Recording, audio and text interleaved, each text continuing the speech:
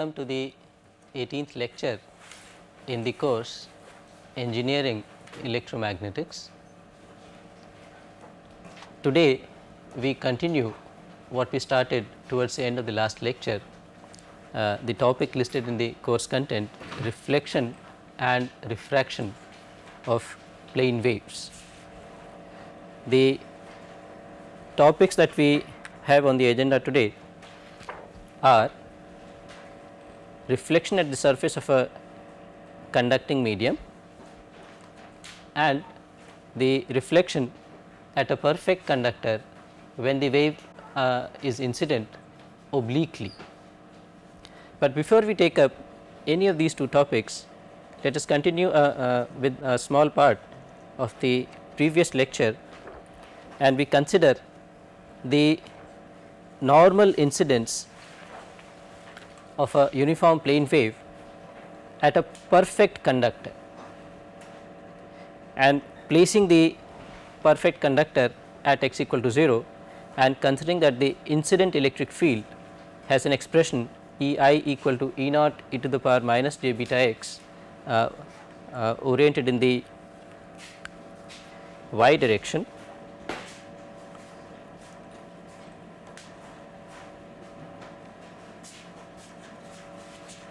the total electric field taking the uh, reflected field also into account was found out as minus 2 j E naught sin beta x. So, that it is 0 at x equal to 0 and at uh, uh, periodic distances from the interface.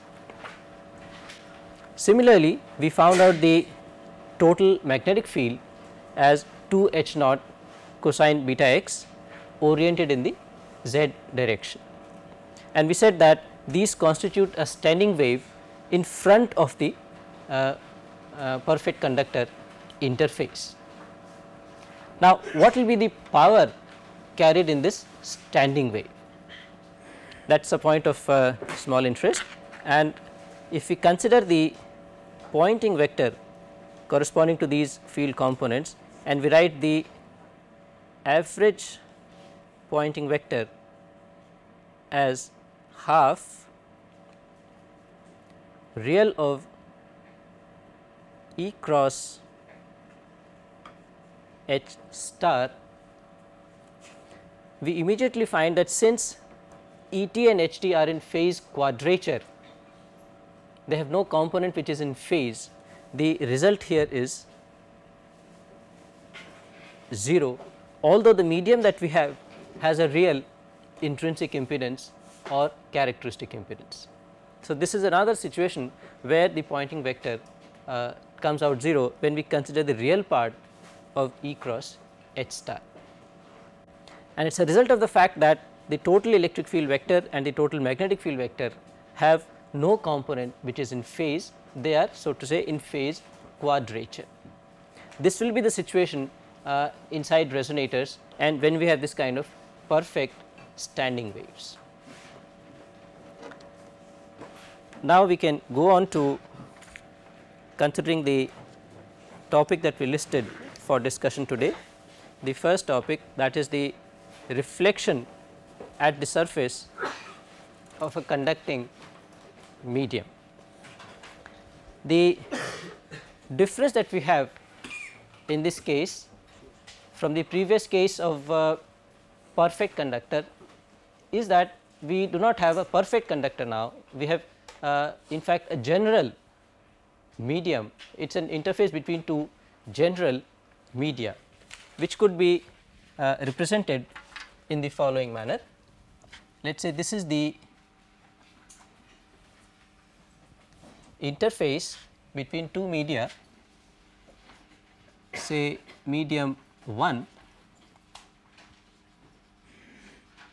and medium 2 with constitutive parameters as mu 1, epsilon 1 and sigma 1 the permeability, permittivity and conductivity and similarly mu 2, epsilon 2 and sigma 2.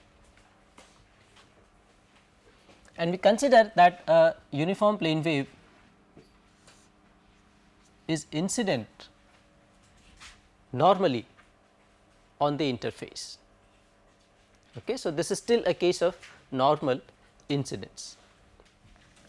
For this direction of propagation, the electric and the magnetic field vectors must be uh, in a plane which is normal to this direction.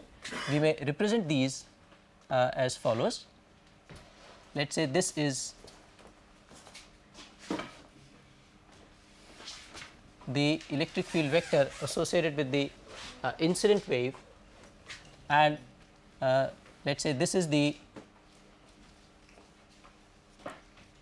magnetic field vector associated with the incident wave. So, that E cross H is in the direction of propagation. Now, unlike the perfect conductor where there could be no power carried in a propagating wave or there could be no power loss because of the absorption in the medium. In a general medium those restrictions are not there and therefore, in general we will have part of the power of the incident wave transmitted through this interface and the part which is not transmitted should be reflected back. Okay. On this basis we can put down a transmitted wave with the corresponding electric field vector as E t and the magnetic field vector as H t and similarly for the reflected wave which is going to propagate in the opposite direction we say that uh, let this be the electric field vector associated with the reflected wave E r and let this be the magnetic field vector associated with this wave. Okay. Then corresponding to the wave propagation we will put down appropriate relations between these. These are nominal directions for the reflected uh, field vectors.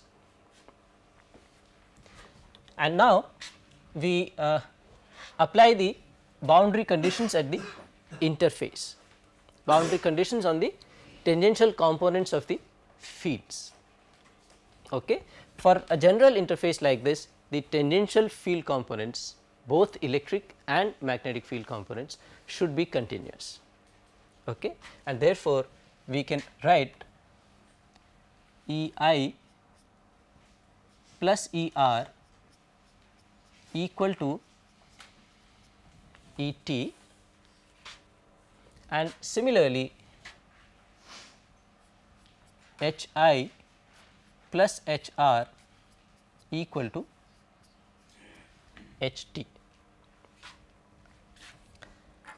However, the field components within a particular wave say incident wave or reflected wave are not independent they are related through the intrinsic impedance of the medium and therefore, we can write the relations E i by H i equal to eta 1 where eta 1 is the intrinsic impedance of medium 1. Similarly, E t by H t should be eta 2 and as far as E r and H r are concerned they exist in the same medium that is medium 1, but this reflected wave is propagating in a direction which is opposite to that of the incident wave and that should be taken into account uh, by writing this as minus eta 1.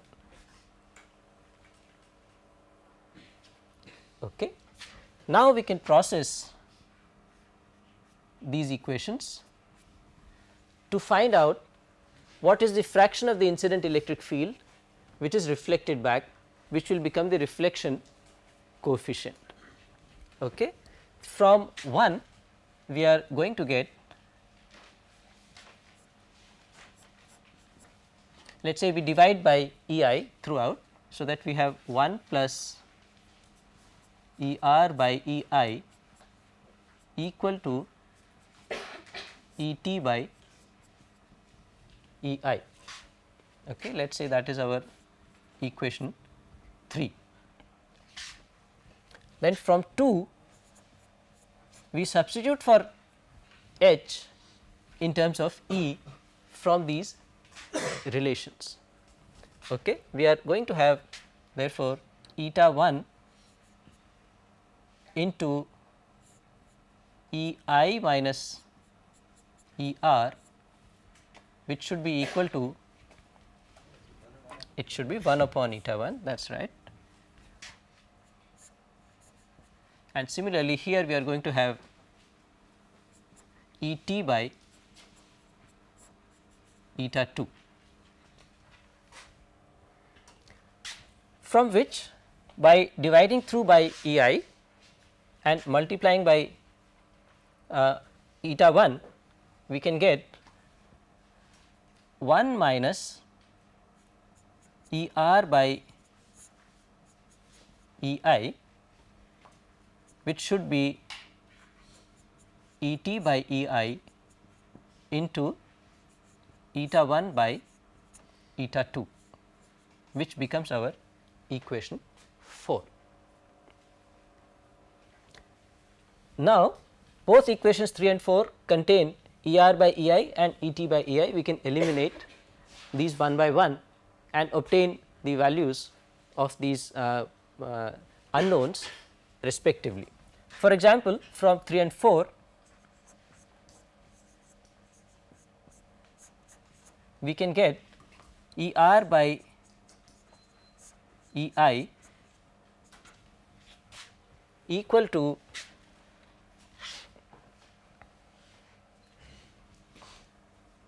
eta 2 minus eta 1 upon eta 2 plus eta 1 considering that we are dividing 3 by 4 okay, and then uh, Uh, doing the standard manipulation componendo dividendo. The similarity with the transmission line is unmistakable. Okay. If we consider the reflection coefficient based on the magnetic field components, one can see easily that this is going to be minus H r by H i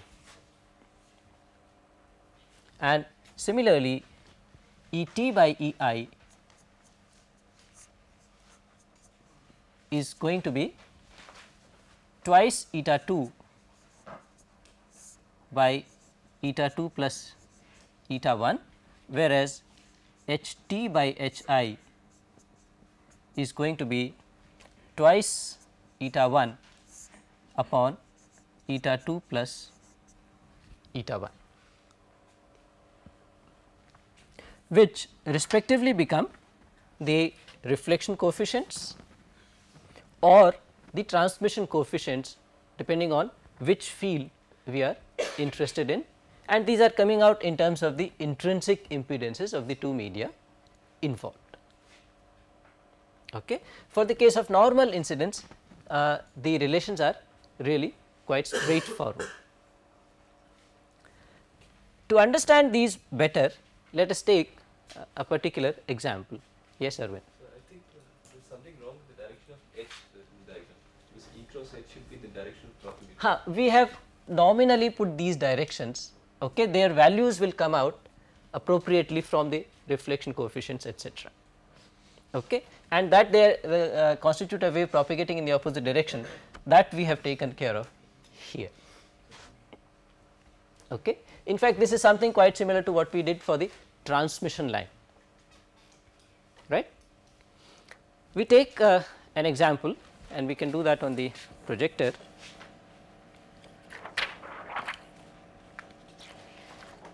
We consider two uh, particular uh, media let us say medium 1 is air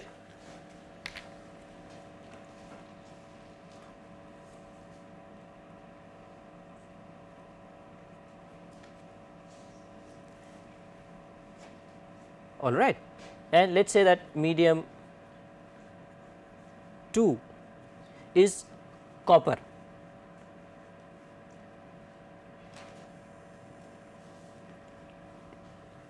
So, that here we have mu 1 equal to mu naught, epsilon 1 equal to epsilon naught and sigma 1 equal to 0. Okay. Uh, if we had written free space that would have been more accurate. Here we have once again mu 1 and epsilon 1 that of free space as for good conductors, mu 2 is mu naught and epsilon 2 is epsilon naught. However, sigma 2 is very large it is 5.8 into 10 to the power 7 mhos per meter. The corresponding impedances can be calculated. We will have eta 1 equal to mu naught by epsilon naught which value is 120 pi or 377 ohms. For eta 2 some calculations need to be done what will be the expression for the intrinsic impedance? The general expression is j omega mu upon sigma plus j omega epsilon for conducting media in general which can be simplified as j omega mu upon sigma for good conductors.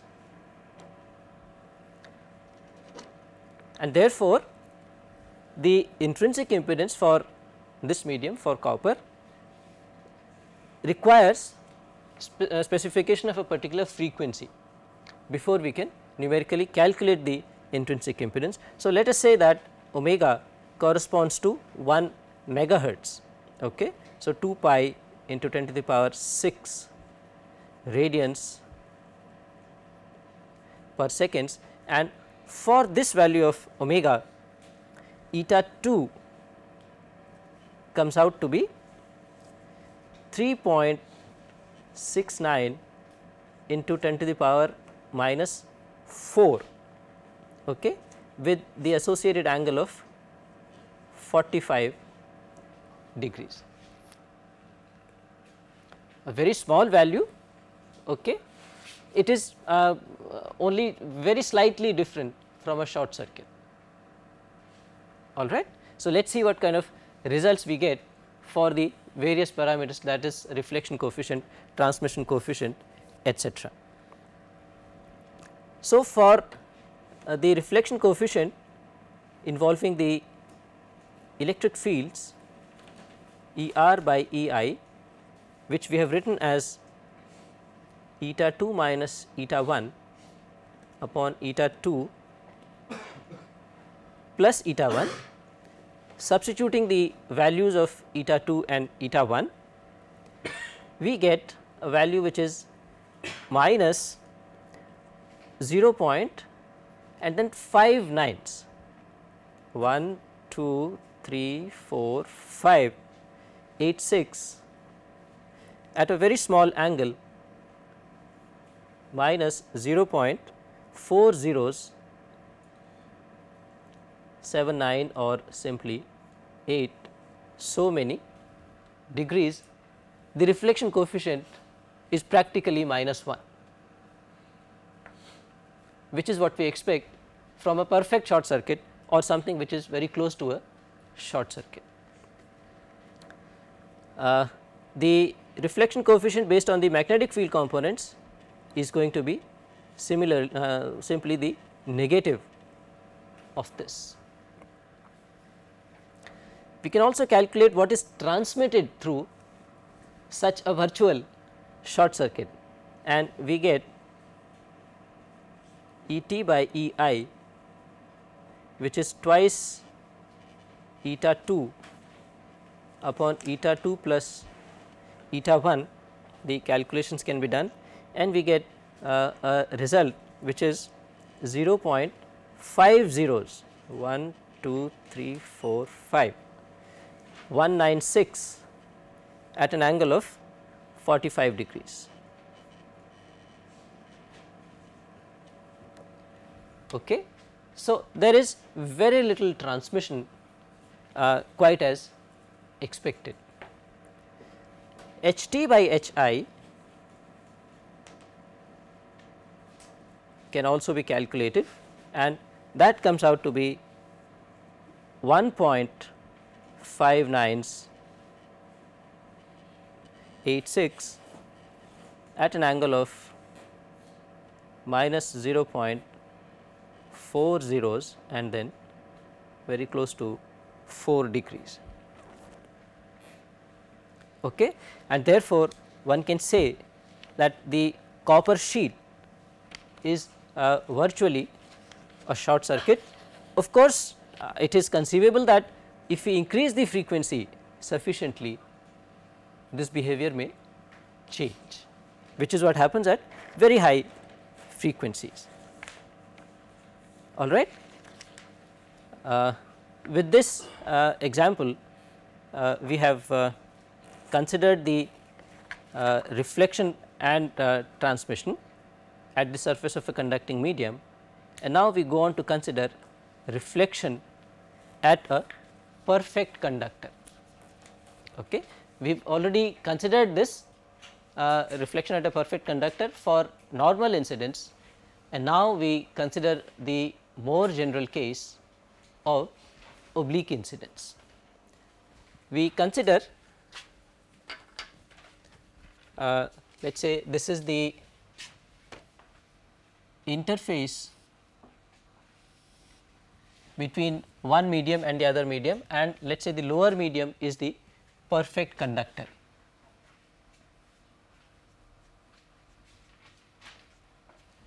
Okay.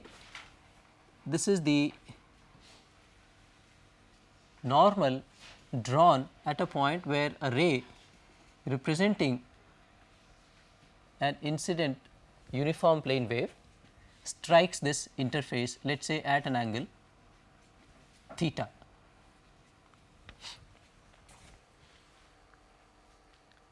Now, in this case we need to distinguish between two possibilities.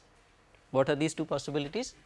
This is the direction in which the uniform plane wave is incident. The electric and the magnetic field vectors have to be in a plane which is normal to this direction of propagation, utilizing the properties of uniform plane waves. One possibility is one of the many possibilities is that the incident electric field uh, is in this direction normal to this direction. Okay. Let us say uh, this is the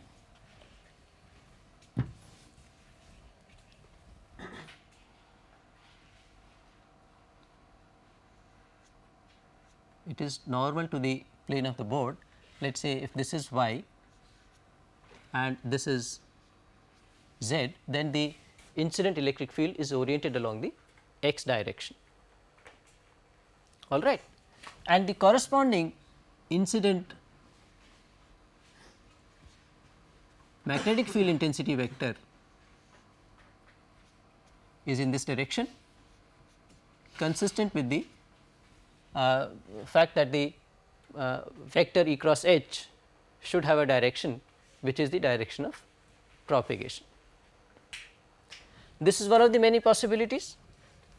This uh, possibility can be uh, identified or specified as the case of perpendicular polarization because the polarization of the incident wave is normal to the plane of incidence. What is the plane of incidence? Plane of incidence contains the incident ray and the normal drawn from the point at which the uh, incident ray strikes the interface. Okay. So, in this case uh, we have perpendicular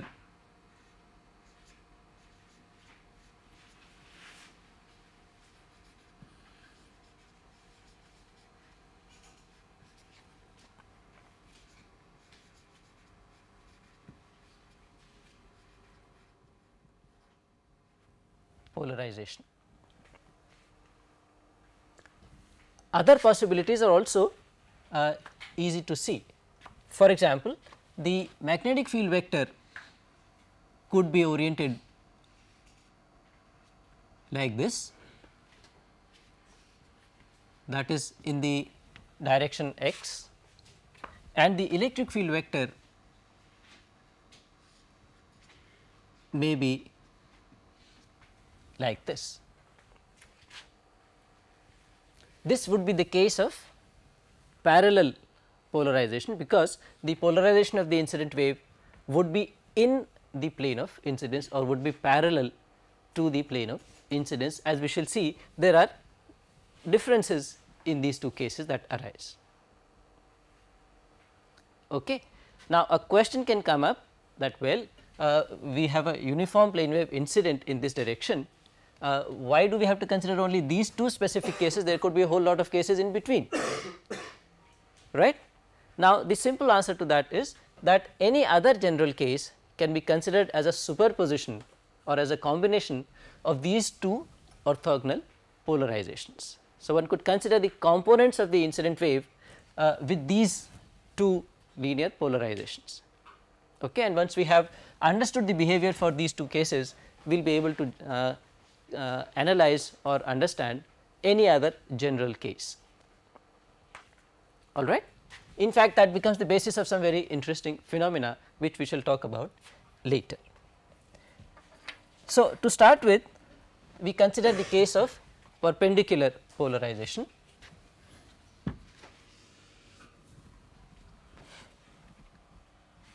Okay. Now, since we have once again come back to the uh, perfect conductor, the arguments that we invoked for normal incidence would again apply and therefore, there is not going to be any power which is transmitted through the interface either as a propagating wave or as something which supplies power to power losses. And therefore, whatever power is incident or is associated with this incident wave must remain above the interface. In fact, one could go a little more uh, uh, uh, further, one could consider this incident wave also as composed of two parts. Okay. Uh, uh, some part of the power is falling normally on this interface and some part of the power is flowing parallel to the interface and physically what we expect is that the power flow parallel to the y direction parallel to the interface should not be affected there is really no constraint on that and the power flow which is normal to the interface should be completely reflected back and as our experience says it should form a standing wave. Physically that is what we expect let us see how we can uh, obtain those results proceeding more systematically.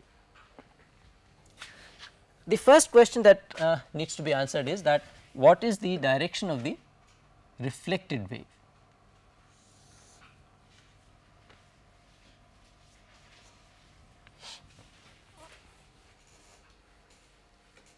Okay. Intuitively we feel that the angle of reflection should be the angle of incidence, but there is a way out we can handle this a little more uh, rigorously.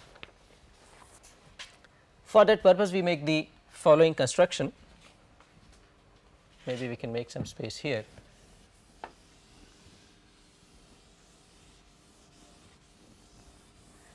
We consider the wave front associated with the incident wave and similarly the wave front associated with the reflected wave.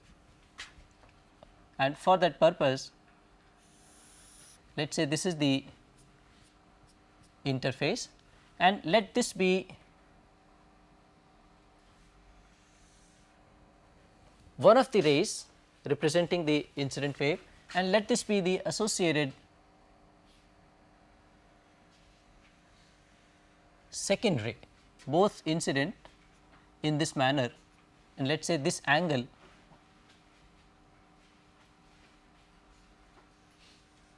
is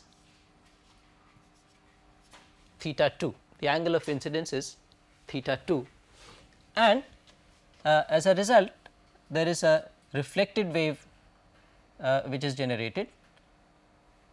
Let us say which makes an angle theta 1 with the normal at that point. There will be a, a reflected ray corresponding to the second ray also which we may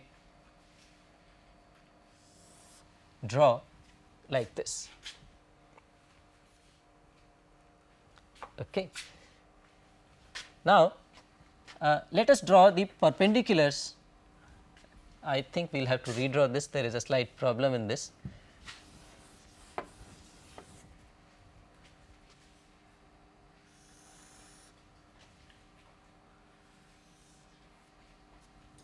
We have to consider more inclined waves so that we can uh, show this better.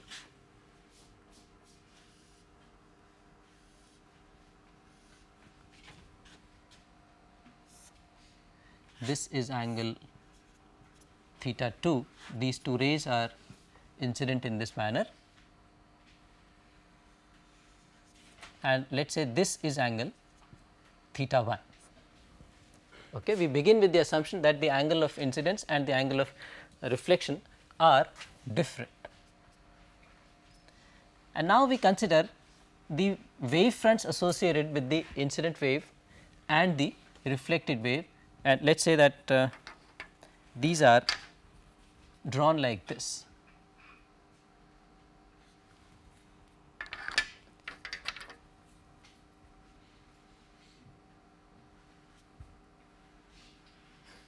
Okay. So, let us say this is point A and this is point D. AD represents the wave front associated with the incident wave. On this wave front there is a uniform phase. Similarly, there will be a wave front associated with the reflected wave. Let us call that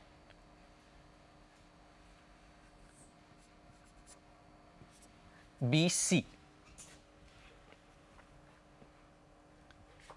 Okay, where this angle is going to be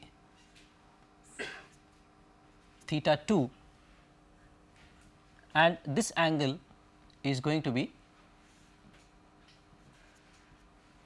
theta 1 all right.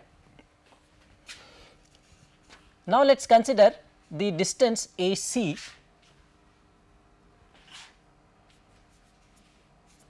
and the distance dB or BD.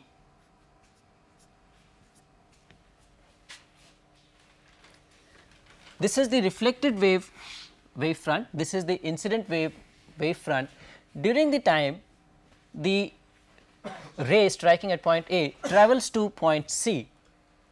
Okay. In that time the other ray should travel from point D to point B. That is how the wave fronts would be constituted like this okay. and therefore, AC must be equal to BD because uh, these are travels in the same medium. Okay. So, the travel is with the same velocity and therefore, in the same time the distance travelled must be the same and one can see that this is going to be AC is AB sin theta 1 and BD is AB sin theta 2 and therefore, we get the simple relation that the angle of reflection is equal to the angle of incidence. Okay. So, using this kind of arguments one can uh, make out what will be the angle of reflection given the angle of incidence in such a situation or later on what would be the angle of refraction when we consider a general medium other than a perfect conductor. Okay. And therefore, we can now safely say that the angle of reflection here is the same as the angle of incidence.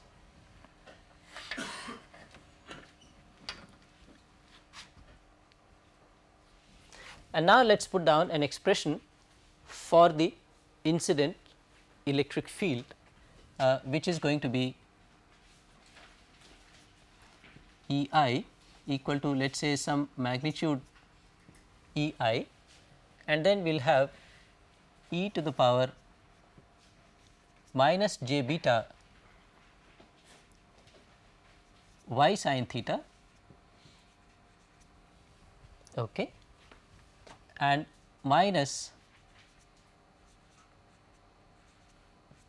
z cos theta considering the direction in which the wave is propagating. The direction cosines of this direction are uh, sin theta and minus cos theta and therefore, multiplying the phase shift constant with that we get this expression for the uh, incident electric field which is going to be in the x direction. Now, we also want to put down the expression for the reflected wave electric field. And we are aware that at the interface say at y and z equal to 0 the total tangential electric field must be 0 this being a perfect conductor. And therefore E i and E r at the interface must completely cancel each other okay and therefore the direction for E r that one may put down is this. Now, this is slightly different from what we did last time. Now, we are taking the direction into account in putting the uh, electric field vector for the reflected wave.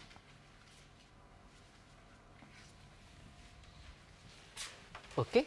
And once we have identified the direction of the reflected wave electric field to be consistent with the direction of propagation, we must have the magnetic field vector in the reflected wave which is perpendicular to both of these and E cross H should be in the direction of propagation and therefore, we have the reflected wave magnetic field coming out like this. The magnitude of E r is to be the same as that of E i as we have just found out and therefore, H r magnitude must also be the same as that of H i using the power conservation arguments that we mentioned a little while ago. Okay. And therefore, now we have E r, e r equal to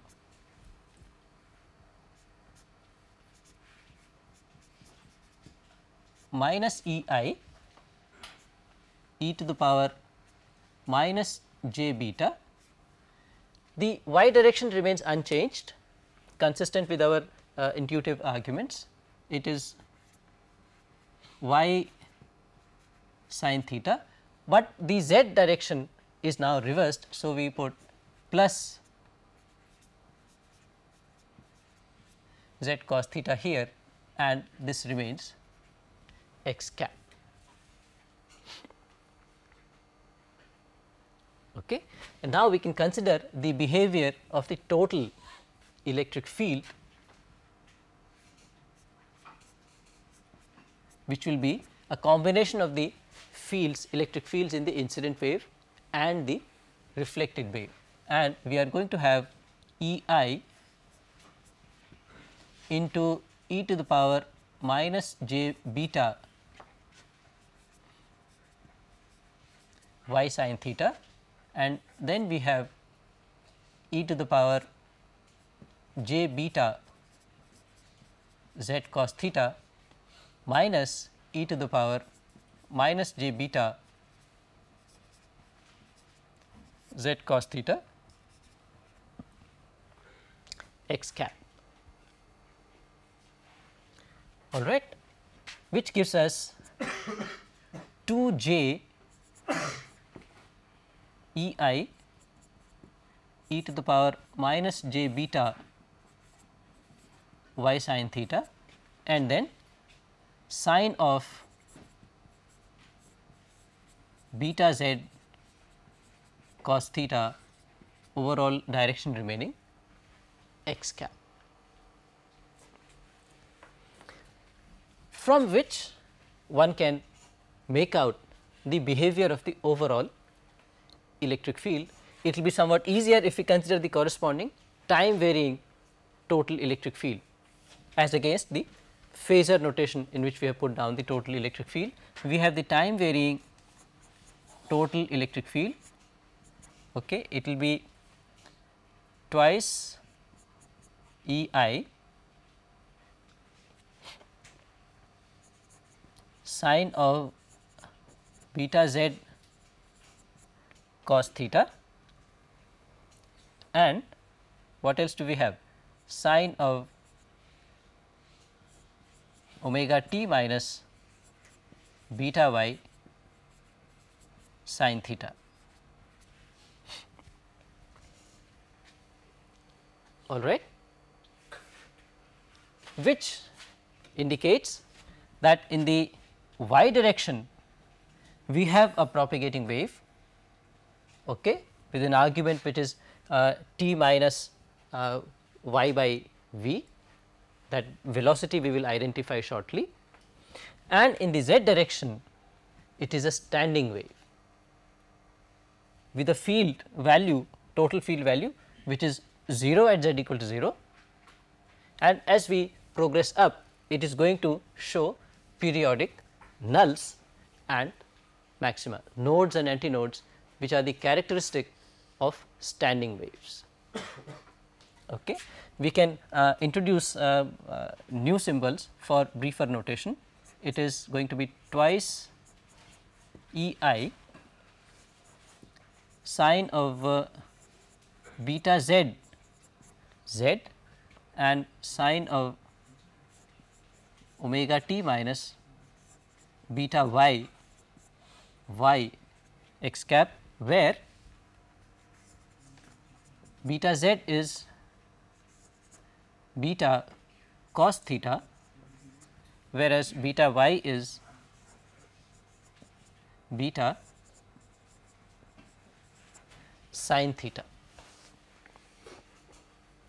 One can put down the corresponding wavelengths and the phase velocities lambda z would be 2 pi by beta z.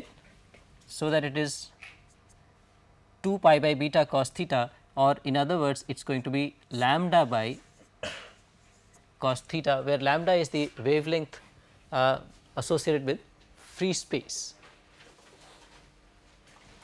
The corresponding phase velocity let us call it V z is going to be omega by beta z and one can see that that is going to be the velocity of the wave in free space divided by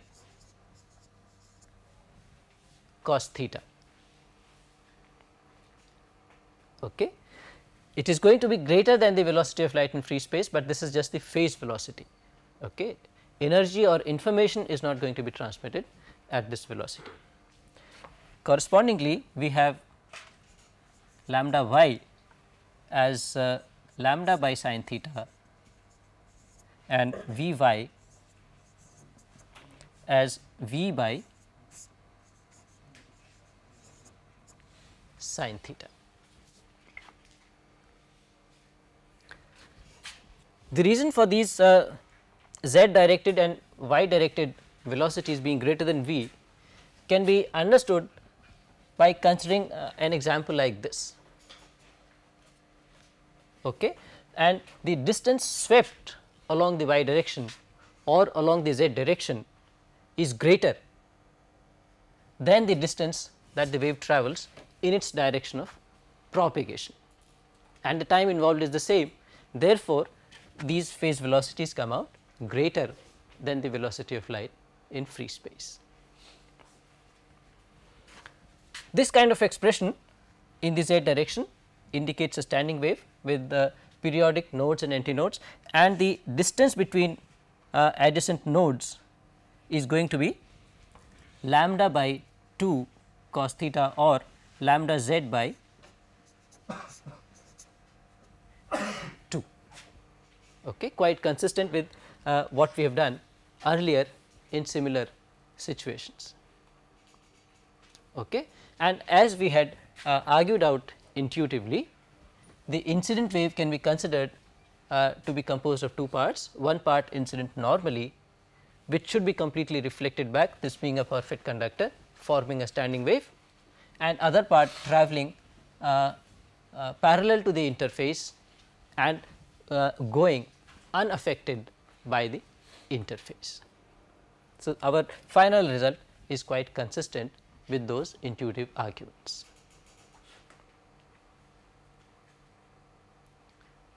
Okay. Now, we are in a position to consider the second case corresponding to this, uh, the case of parallel polarization.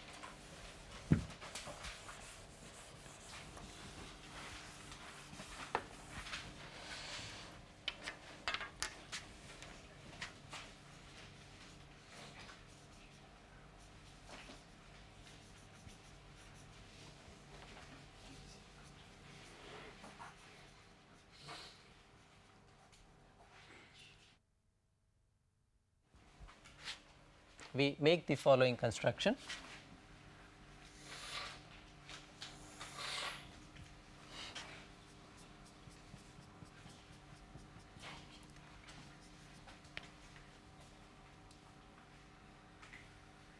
These are the y and the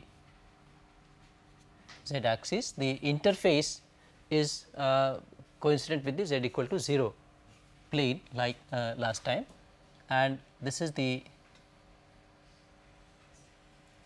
wave incident at an angle theta and this time the incident wave electric field is in the plane of incidence or parallel to the plane of incidence and the corresponding magnetic field is like this. As far as the direction of the reflected wave is concerned the angle of reflection that should from uh, similar arguments come out the same and therefore, we can mark the reflected wave in this manner and similar uh, intuitive arguments are going to apply to this case also. Now, of course, we expect the reflected wave fields to be in a plane normal to the direction of the propagation of the reflected wave all right.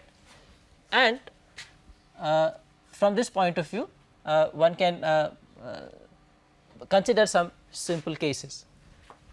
To be able to put down uh, more clearly the uh, field orientations, let us consider that the incident electric field is composed of two parts. One is the y component the other is the z component which we label as Ezi and Eyi. Okay. At a corresponding point here, now Eyi is a field component which is tangential to the interface and when we apply the boundary condition that the tangential electric field total tangential electric field at the perfectly conducting interface must be 0, Eyi must come out uh, Eyr must come out as negative of Eyi. Okay. So, incorporating this direction in the reflected wave uh, y component uh, of the electric field, the field component is going to be like this. This becomes our E y r. Then as we have been arguing out the uh, part of the wave the component of the wave notional component of the wave which is travelling in the y direction should remain unaffected by this interface because this is not imposing any constraints on that and therefore, the z component of the electric field uh, in the reflected wave must remain unchanged and this is how E z r must look like so that we get the reflected wave total electric field which is oriented in this manner normal to the direction of propagation with these components. Once the electric field has been obtained, then since H must be normal to the electric field and to the direction of propagation and E cross H must be in the direction of propagation, we can say that the reflected wave magnetic field should be like this.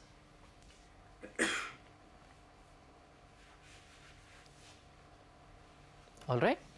And now one can combine the various field components and consider their behavior along similar lines. Okay. Which part we shall uh, postpone till the next lecture. Uh, in today's lecture, we have considered the case of uh, normal incidence uh, at an interface between two general media and we have considered the reflection coefficient and the transmission coefficient. And next we uh, considered the case of uh, oblique incidence at a perfect conductor. We saw that we need to consider two different cases. We have considered the case of perpendicular polarization today and we shall consider the case of parallel polarization in the next lecture. Thank you.